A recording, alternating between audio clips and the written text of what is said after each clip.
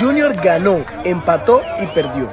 El gol de Carlos Vaca y de Luis González de penal sobre la hora no le alcanzaron para salvar al equipo de una de las mayores humillaciones en su historia, quedar eliminados ante un equipo de la B en los octavos de final de la Copa Betplay de Mayor. Si bien ganó 2 a 1 en los 90, solo le alcanzó para igualar la serie y forzar los penales, donde Cúcuta Deportivo obtendría su clasificación a cuartos. Tras este resultado, los hinchas del Tiburón hablaron a la salida del Estadio Metropolitano. ¿Opinión del partido? No valimos pa' mi hermano. No hubo nada que hacer hoy. Nada, pero nada. No, se prepare Luis Ángel, que está buena la, está buena la batalla. No es posible que un, un, un equipo de la B no, nos venga a pintar la cara aquí. Es imposible. Triste, mi hermano. ¿Quién no sale triste hoy? Le gana el Barranquilla ya. Y llega Junior aquí. Gana con una jugada que no fue penalti. Pues aquí no nos podemos engañar.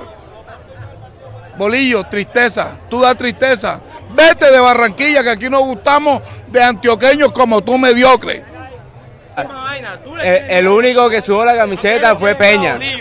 Vla, Vladimir no lo vi firme. Juanfer 10, Bolillo 0. Ey, Bolillo, a las 10 sale el Brasilia. Entonces yo no sé quién está peor, si Junior que pierdo, yo que lo vengo a ver.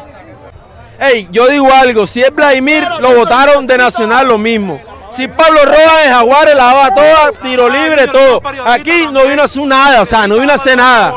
O sea, ¿Bolillo sigue o sigue? Se vaya Bolillo. Esta vez. Que Fuente lo vuelva a defender, que Fuente lo vuelva a defender. Yo soy el vale, el de la vez pasada, el de la salchipapa. Hoy sí trae los vales de Campo de la Cruz. Oh, papi, directo de Campo de Junior y mira, me meto arrancando yuca. Se vio, se vio el cambio del equipo, se vio el cambio del equipo. El vale que habló de Bolillo, papi, no hay equipo. Bolillo técnico. ¿Por qué cambiar Herrera por Pacheco? ¿Por qué? Que le den la licencia de maternidad a Bolillo, ya está bueno, ya. Chao, papi, chao, chao, chao. Sino que si quieren jugar bien y si no quieren jugar bien, que se vayan. Que cierren el estadio y más nada. Ajá, ¿y por qué? Que los jugadores, tú pagas una entrada. No, Todo, que se vayan no, todos, ¿para qué uno gasta plata aquí, entra en el estadio? ¿Para qué gastan plata? Esa es mi pregunta, porque uno viene acá, es solo a ver que ellos botan los goles y más nada. El pero tiene la razón.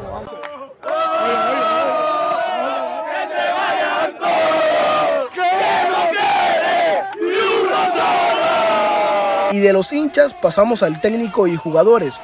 Una vez hablaron los aficionados, entramos nuevamente al estadio para ser parte de la rueda de prensa donde asistiría el técnico Hernán Darío Gómez y el jugador John Vélez. Pero sin saber que habla deportes no iba a ser tenido en cuenta para preguntar. Así como lo oyen, no nos dieron la oportunidad de participar en la rueda de prensa y en un principio la excusa fue que se les pasó darme el turno. ¿Será por lo ocurrido en la última conferencia de prensa cuando el equipo no pasó del empate ante Deportivo Pasto? Pues no lo sabemos. Lo cierto es que no nos dejaron preguntar. Dicha conferencia de prensa fue tan blanda que los responsables de este resultado parecían estar tranquilos como si nada pasara y como si este partido fuera uno más y sin importancia. Que nosotros tuvimos al 2-0 con la encina que se metió el arquero y la tuvo, se cayó. Tuvimos opciones como para irnos 2-0 y se nos vuelve 1-1 y muchos partidos nos ha pasado lo mismo, ¿no? Tenemos nosotros la opción muy clara para meterla y no nos resulta. No digamos que estamos jugando bien, pero no estamos jugando tan mal como, como se mira porque no se sacan los resultados. Yo creo que hoy fue un partido que, que a mí no me gustó mucho el equipo como equipo, pero individualmente los muchachos se entregaron todo, lucharon, pero lo vi muy largo, muy largo y por eso a veces tuvimos que regresar casi hasta, el trono, hasta nuestro arco y desgasta mucho, desgasta mucho, pero sin embargo hizo para ganar el partido también hoy y no lo, ganó, pero los penaltis fuimos un desastre. No, no, el ambiente no está bien porque, pues, como dice el profe, queríamos ganar. Pues, feo que nos elimine un equipo de la B. Pero bueno, mañana sale el sol otra vez y que camellar, esto es de camellar. Sábado tenemos un partido en Bogotá y hay que prepararlo de mañana. No más. Lo cierto es que Junior ahora solo depende de la liga para salvar el semestre. Recuperarse en el todos contra todos parece estar bastante difícil y este fin de semana tendrá una de las visitas más duras del año, ir al Metropolitano de Techo para jugar ante la Equidad. Muy bien, muchas gracias. Ah, qué buen informe por parte de Sergio Vargas, ah, de todo un poco en la declaración, tiró su sablazo que no lo dejaron preguntar.